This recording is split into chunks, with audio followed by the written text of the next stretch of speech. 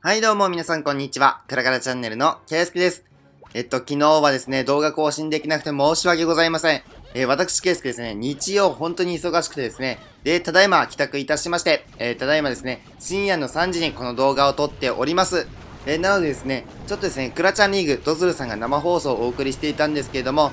クラメンの全開リプレイ見直す時間がないので、今回はですね、私、ケイスケ初見で星6取ったので、えこちらのリプレイ2本お送りしていきたいなと思います。えまず1本目のリプレイは、えー、Wiz 多めのアルティメット、こちらを行っていきました。そうですね。あの、対空砲2本しっかりと折ることができて、そして3本目も狙えるようでしたら、水を増やしたりとか、あとバルキリーを混ぜたりするアルティメットありますよね。えそんな感じで対空砲3本を狙っていって、そして残りの対空砲1本に対して、ラバーを2体当ててバルーンを展開させていくといった、えっ、ー、と、戦術になっております。それでは見ていきましょう。こんな風にですね、エクエクで穴を開けるだけで、対空砲を今回はですね、3本狙うことができます。しっかりとゴーレムたちがしっかりと奥に進んでいきまして、そしてウィズやアチャクイで3本目の対空砲を狙っていきます。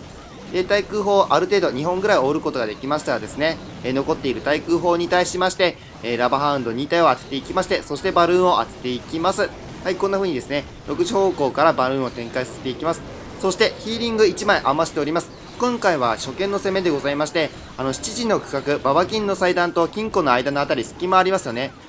あそこからテスラが固まって出てくる可能性があります。もしくはですね、えー、予測不可能な場所にテスラが固まって出てくる可能性もありましたので、えー、そこにですね、ラバハウンド、もしテスラのターゲット取らないようでしたら、えー、バルーンがダメージを受けてしまいます。なので、えっと、そのバルーン、テスラ固め用にヒーリングを1枚余しておりました。えしかしですね、今回はいい感じにテスラがばらけていたので、今回は最後の最終地点に水塔がありましたので、固まったバルーンが落とされないようにしっかりとヒーリングをかけて保護を行っていきます。といった感じで、あとはですね、えっ、ー、と、掃除タイムでございます。バルーンも1体余して、なんとかですね、余裕のある全開といった形になっております。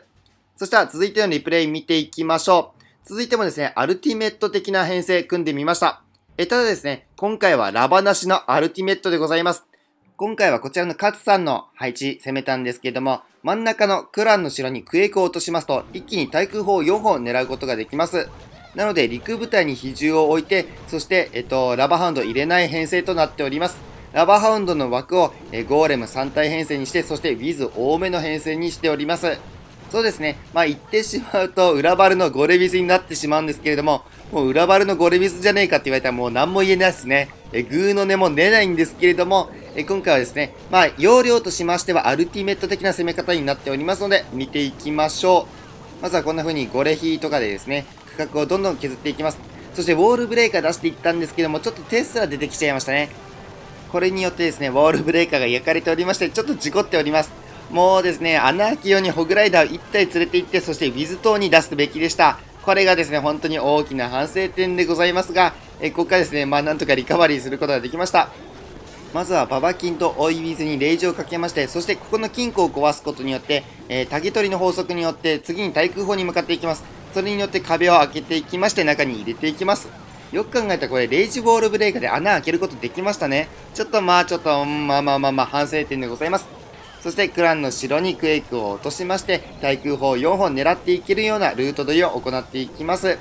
で、ここですね、あの5時方向のゴレヒ完全に枠無駄になってますね。え58枠これで完全に無駄にしておりますが、えここからなんとか全開取ることができました。はい、こんな風にですね、対空砲をしっかりとですね、今3本目と、で4本目もただいまウィザードが壊しておりまして、そしてここからはですね、もう裏バルの要領でバルーンをどんどん当てていきます。そうですね、優先的に空に対して攻撃できる施設に対して、え裏バルを出していきまして、そしてどんどん施設を壊していってもらいます。えそうすることによって残っている施設がもう大砲とか迫撃砲のみとなりまして、まあ、安心安全に裏バルがこんな風にたくさん生き残って、あとはお掃除タイムといった形になっております。